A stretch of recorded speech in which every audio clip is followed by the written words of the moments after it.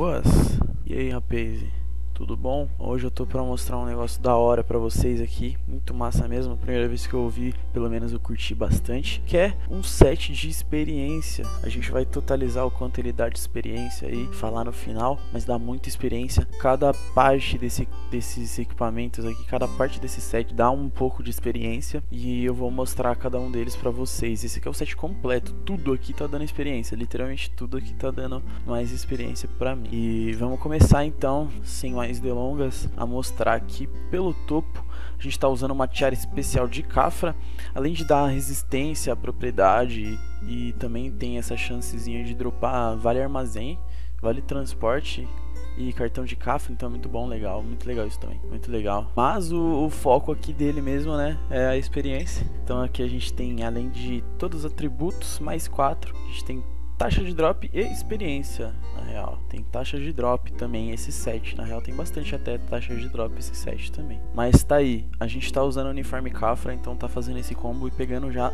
5% de experiência aqui. Vamos passar pro Oculus Potting, Super Oculus Potting ali, ó. Taxa de drop também dá mais 5% e também mais 5% de experiência de qualquer raça, né? De monstros de qualquer raça. Aqui em conjunto com as botas, que é essa que nós está usando também, ele vai dar mais 5% de drop XP. Demorou? E além disso, se estiver em refino 12, tira tempo de conjuração fixa. Isso aqui é muito bom, hein? Vamos lá. Ah, no baixo, a gente está usando um laço encantado de Antônio que também vai dar taxa de drop e experiência 5%. E também tem um combo aqui com a sacola mágica de Antônio, que é o que a gente está usando aqui, mas ele só dá conjuração variável e todos os atributos aqui.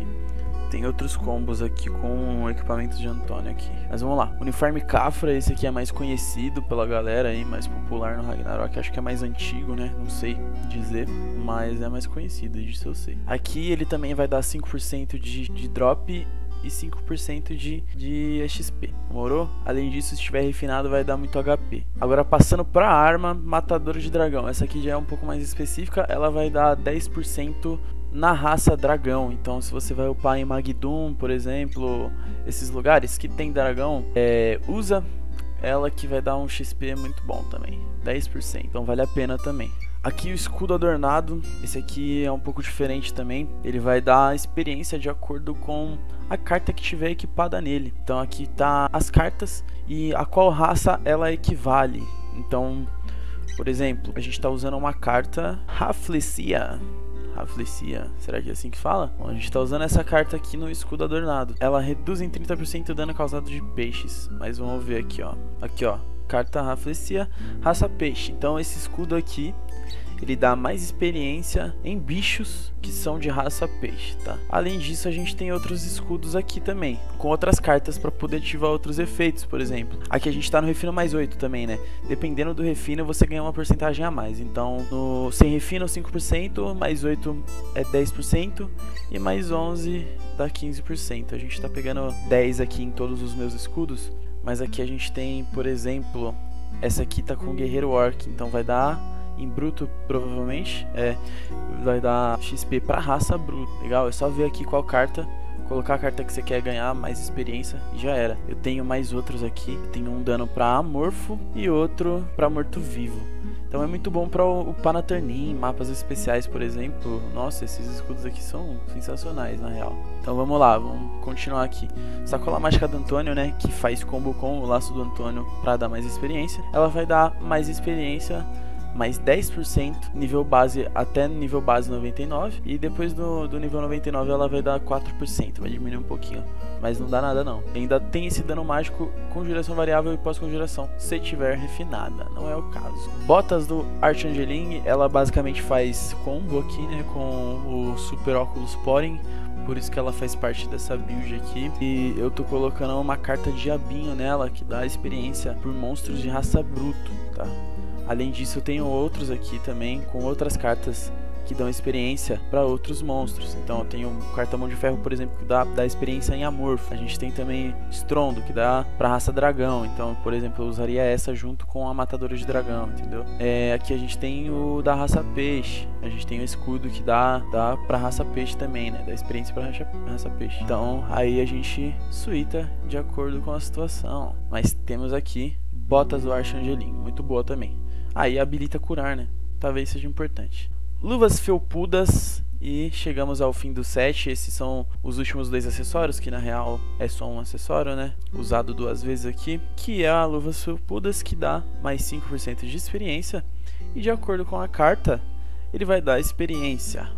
Ou seja, a gente está usando na Archangeline, por exemplo, a carta Diabinho. Na luva felpudas, em conjunto com a carta Diabinho, vai dar mais 5%. Então, além dos 10% da carta, vai dar 15%. Vai dar mais 5% aqui da luva felpuda. Mas, como a gente está usando duas, ele vai dar, na verdade, 10% em XP de raça bruta.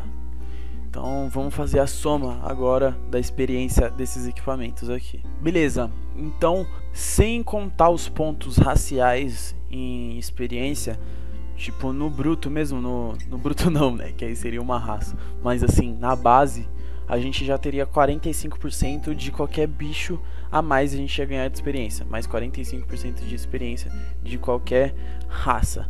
Agora, se a gente acrescentasse os bônus do escudo adornado, que dá, né? Experiência em, em determinado tipo de, de raça, a gente teria aqui, como o escudo tá mais 8, a gente já teria mais 10% em uma determinada raça. Além disso, se a gente estivesse utilizando a mesma raça aqui, a gente teria então 10%, 20% dessa raça e mais 10%. Então a gente já teria mais 30% dessa raça se a gente tivesse o todo o combo certinho da raça, como por exemplo, vamos colocar aqui o escudo que dá para a raça bruto. Cadê? É a do guerreiro orc, né?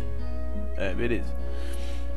Aqui Aqui a gente está usando tudo que dá para raça bruto, então a gente pegaria XP mais 30% com monstros de raça bruto.